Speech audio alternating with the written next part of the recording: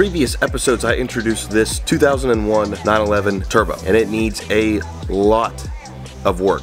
I've already taken care of a lot of the issues on this thing. One of the major issues is a pretty massive oil leak. that is 100% fresh. Unknown where it's coming from.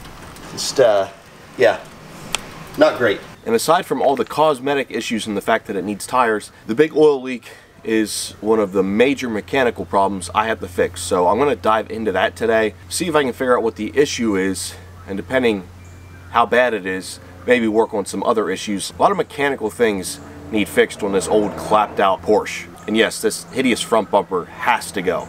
Still haven't located one yet though. When I had it up in the air last time, I soaked the complete underside with brake cleaner, hoping it would be something easy and easy to access under there, but that doesn't appear to be where the leak's coming from. It seems to be coming either from the top of the engine or the front of the engine on the side of the rear bumper. So I'm going to start taking things off the top of the engine, getting a better look in there and seeing what's leaking. I don't know if it's something easy like a PCV hose or an oil filter housing. Hopefully that's the case.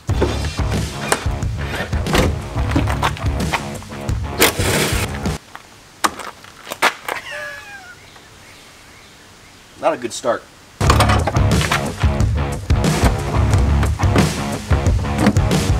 I can see a bunch of oil in the front of the engine. Look at all of that. There's a lot of oil up there. It's kind of covered on the alternator and wherever else. All right, I'll keep diving into this, see what we can find.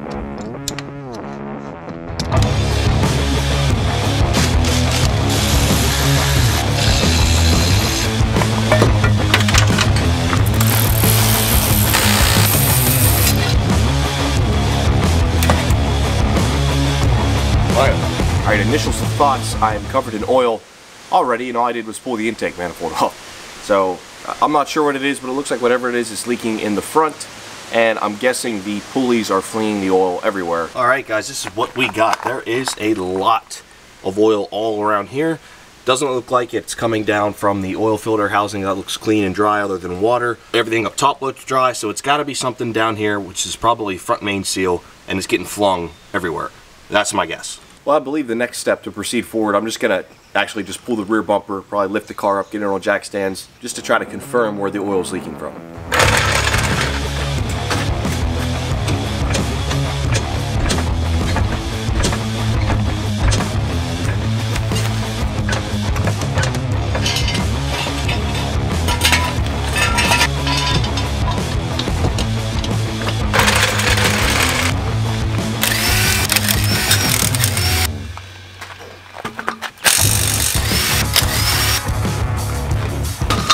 I don't see anything unusual on either side. Everything looks pretty stock in there. I've actually, I never took the wheels off, which I know I should have. But rotors don't look the best, but there's plenty of pad life on the calipers for sure.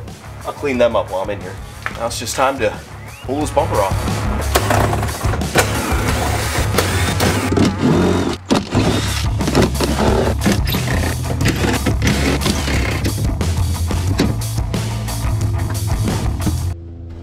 Yeah, that's an interesting place for that.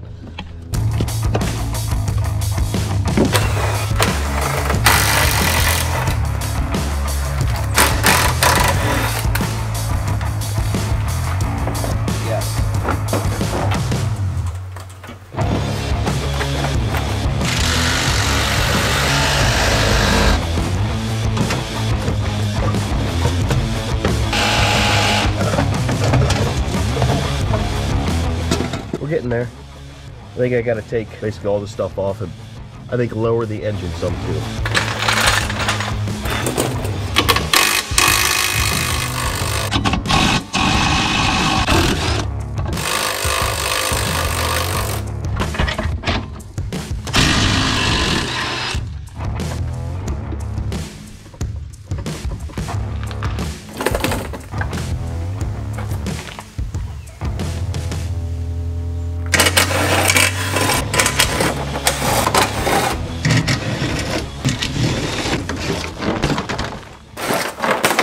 You got all that crap out of the way and have pretty good access to the crank as you can see.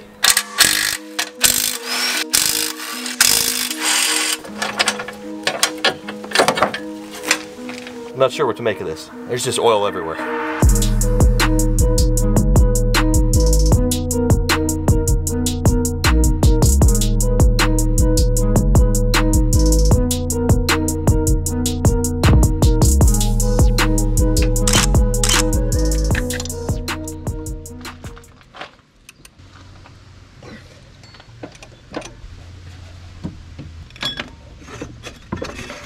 Like I'll probably be replacing this while I'm in there because it looks a little old. Not torn or anything, but just looks old.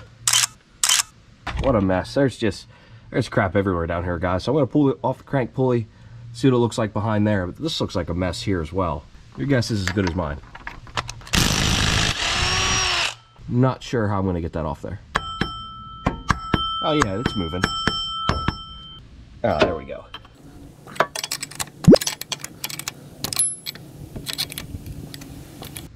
There we go. Yes, I'm gonna replace this.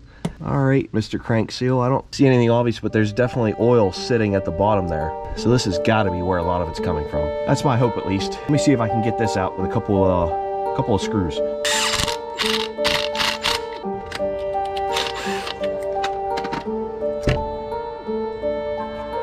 Well, I don't know if that was the problem or not. I assume it was. Either way, gonna replace this, obviously.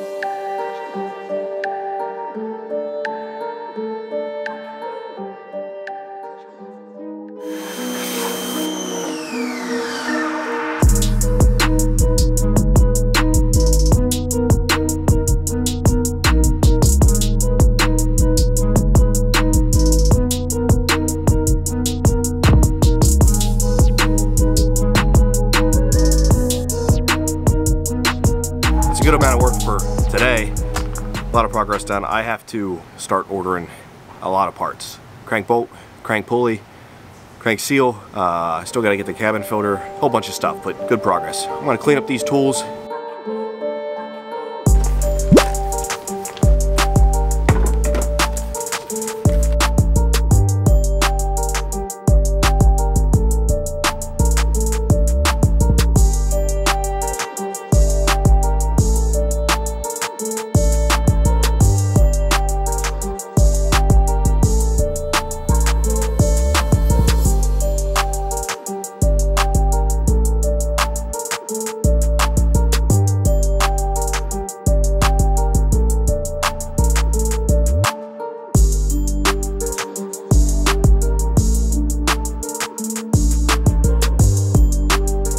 I figured while the car is apart, at least in the rear, I might as well keep pressure washing stuff, get the rear fender wells and calipers all cleaned up because those calipers are just caked in grime and grease and brake dust and they look awful. I want to bring back the yellow color, make them pop again, clean out everything under there, and now's a great time to do so.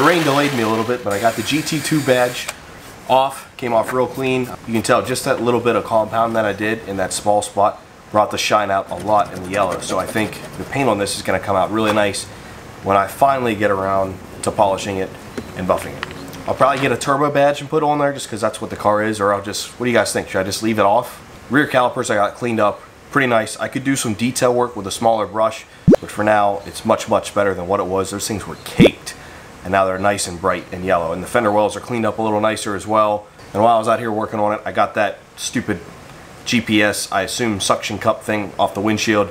Didn't break the windshield, thankfully, popped right off. Not a big deal. Now you can tell comparing the front calipers to the rear just how much dirtier the front are. I'll get to them when I do some work in the front end or swap wheels and tires or whatever. Speaking of tires, some of them arrived. I'll give you a little sneak peek here. Gonna have some new wheels for it with the tires. I wasn't planning on doing it this soon, but the fact that the tires on the rear are completely bald, I have to do it.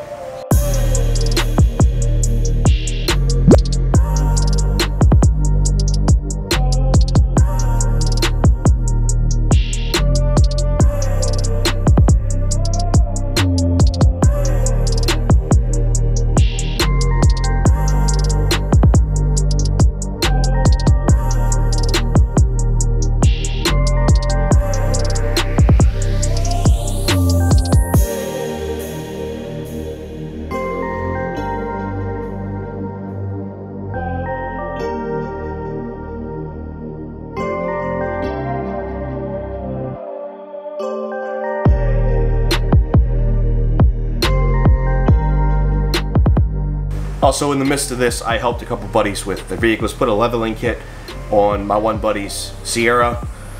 That went pretty easily and smoothly. And then we were working on putting a new charge pipe and spark plugs in my other buddy's 335i.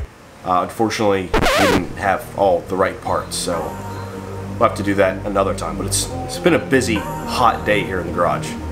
Now since I got all the stuff cleaned up, let's go inside and order some parts.